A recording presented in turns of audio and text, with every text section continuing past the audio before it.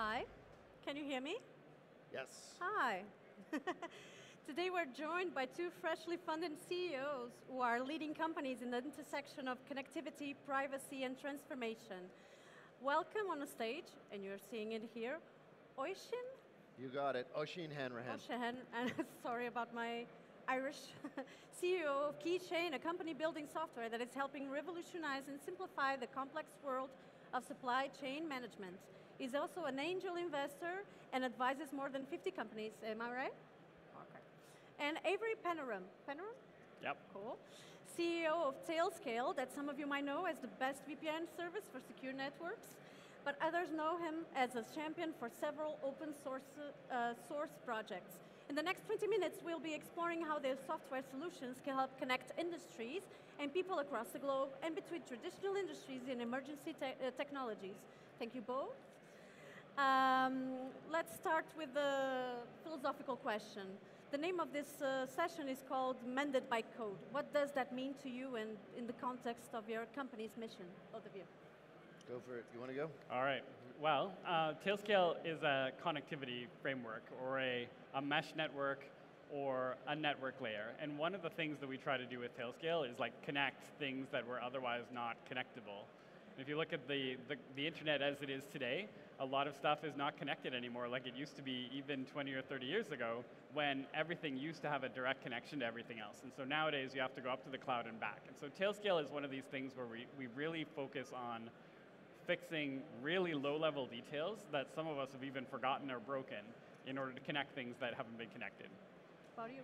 So we do something very different. We deal with the real world every single day. We think about all the products that you buy in a grocery store. So all the food, the beverage, the beauty, the household, the personal care, the supplements, all the things you buy every single day in a grocery store, they didn't start there. They started in someone's mind. Somebody said, we're going to make a new product. We're going to make a new soda, a new sparkling water, a new protein bar, a new juice, whatever it is. Somebody says, let's make a new product.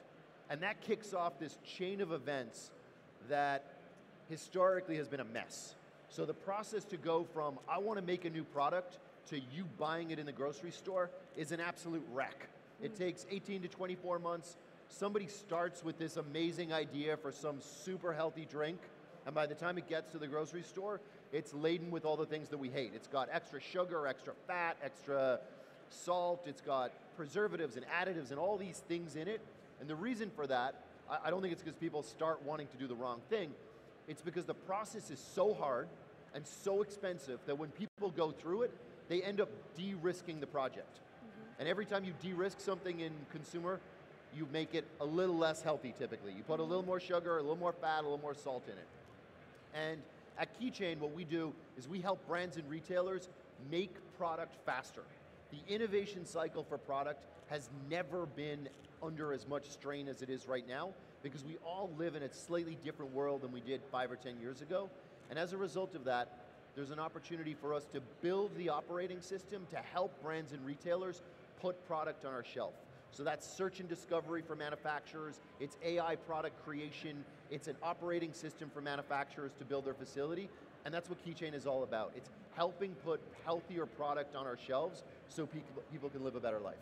How did you come up with the, with the supply chain, chain of events? How did you so I started with the name Keychain and I thought we're going to do something, no I didn't. So I've spent the last 15 years building uh, two-sided platforms. I built a company called Handy. Handy is the largest on-demand home service company, uh, on-demand home uh, handyman and cleaners. I sold that business to Angie's List. Angie's is the largest home service company in the world. I was the CEO there. I ran it up to $15 billion of GMV, 7,000 people, 20,000 contractors.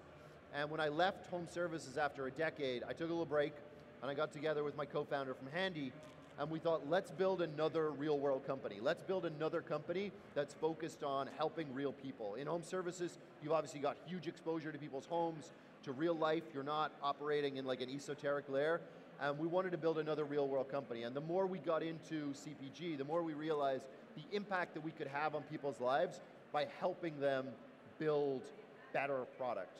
And below that, we started testing it and we realized the pull was there. So when you, you know, as a founder, you're trying a lot of things. I think one of the skills that founders have is when they see lightning in a bottle, they're able to recognize it. So we recognize very quickly the pull that we had from the market, and that's led us to today we've got 20,000, we're, we're less than two years in, we have 20,000 brands and retailers that use the product, eight of the top 10 retailers in the United States use it, and they post about a billion and a half dollars a month of projects on Keychain. So it was the combo of prior experience and also recognizing the opportunity. Mm -hmm. But um, uh, you, you advise 50 plus companies these days. Is connection the common thread between all of that, uh, all of those worlds that you inhabit? Look, I, I, there's, a, there's a few different things we look at. So I invest alongside my co-founder. There's a few things we look at. Uh, one is, do we understand the industry? Is it something we're aware of? The second is, do we think we can add value? So do we have a unique flavor, a unique edge, some insight that's different to everyone else? And the third is kind of what you're saying, I think, which is, is it a double impact business? Like, yes, mm-hmm. we want it to make money, but can it have a positive impact? Is it something that is, is that a force for good for in the world? And to us, you know, helping people take care of their homes is a force for good, helping people eat healthier product, maybe making the product a little more sustainable so it doesn't destroy the planet, also good for the world. I'm going to you just in a few seconds. I'm just going to ask you um, uh, oh, wow, another I'm really question. on the spot here. It's like rapid fire. Because he's, uh, he's an angel investor too, and I'm sure a lot of people here also want to know about that. Uh, you just raised $68 million for Keychain. How does that compare to being an angel investor? Look, the second time around as a founder, it's totally different. So you're in a, you're operating in a different environment. You're working with uh, a different capital structure than you had the first time. So it, it's really not comparable. The, the angel investments that we look at, you know, we write very small checks, 20, 30, 40, $50,000. Um, and that is typically into either founders we know and understand, it is into areas that we know and understand, and typically, again, we have an edge, so we have like a, a, a different take on it. I think the, the capital that we've raised, one of the interesting things about the capital a second time is because you're very fortunate and able to be more more uh, restrictive on the capital that you bring into the business, you can really use your cap table to drive the business forward. Mm -hmm. So we spend a lot of time thinking about who we bring into the business. So we brought in General Mills, we brought in Hershey, Rich's Foods, Schreiber. Here in Portugal, we're very fortunate to have the investment arm of the largest retailer in Portugal of Continente Sonae. So Brightpixel is an investor in Keychain.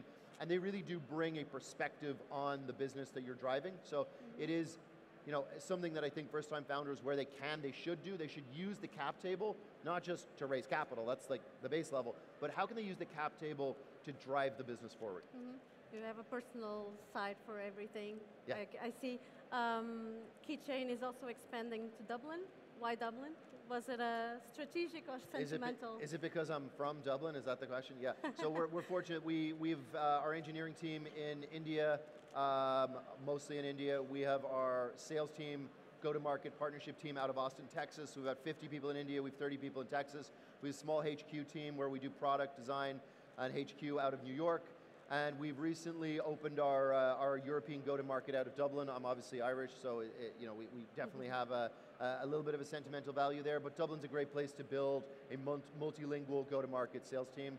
Uh, and we're super excited to expand into Europe. I think we announced Ireland. I think in the next uh, in the next week we'll have both another um, another capital announcement and uh, an announcement about some other European countries we're expanding into. Now it's your turn, Avery. All right. Uh, you built Tailscale to solve a, pro a friend's problem, right? Uh, how did that become an industry shifting solution that you built in a week in a weekend? All right, well, I mean, I'm, I'm very much the opposite. We just talked a lot about physical world stuff. I'm a very, like, electrons and bits kind of person, which of course, in, in a way are the physical world, but it's a lot more abstract. Um, and I think the, the thing that ties these things together is that, you know, even the work you're doing, all of those interconnections you're building nowadays are digital, right? Like we connect people on an online marketplace, and how does the online marketplace work? Well, there's a network underneath that connects the different components of that online marketplace how do people connect to the marketplace? They use a web browser and a phone, and like bits are traveling through the air. Uh, all of that stuff nowadays is able to happen so much faster because everything is digitized. Mm-hmm. And so Tailscale really works in this like super low layer. It was originally created, our very, very first customer when we founded was a bank in Canada. And this bank had software that didn't support what's called two-factor authentication, right? they, the software didn't handle this, you know, those codes you get SMSed on your phone or whatever that protects you against password phishing, and they needed that added. And so my proposal was, why don't you move all of those servers onto a network and make that network require two-factor authentication. And so we had to build the software for that, and we had to do it quickly because they had an audit coming up. So we helped them put this together, and that was the first version of Tailscale. It was like literally built in a weekend to let them do two-factor authentication to connect to their own servers on a network that was in another room. Mm-hmm. Um, and it grew from there to being like a much more, uh, much more sort of advanced system. And now we now have millions of users and tens of thousands of customers. Um, but it all comes down to like the same underlying like, look, connection is connection. Why don't we make that part go away? Why don't we make the connection secure so that everybody else doesn't have to worry about security at every single step of the way? Mm-hmm. And you can see connections on Tailscale. You have a big fan base of engineers and developers because you think about them first. Right. And, um, but uh, you launched in 2019 and then came COVID. Do you think timing is everything?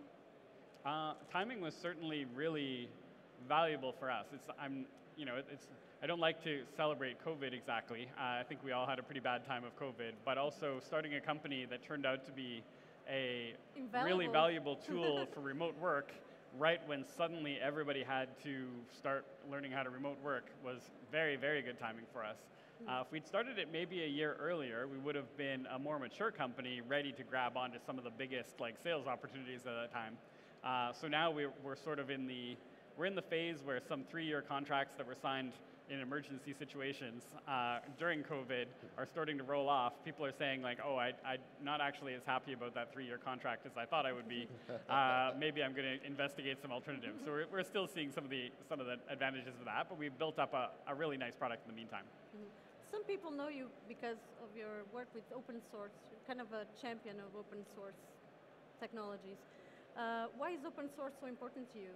And how does it connect with people? Because that's the model of this conversation.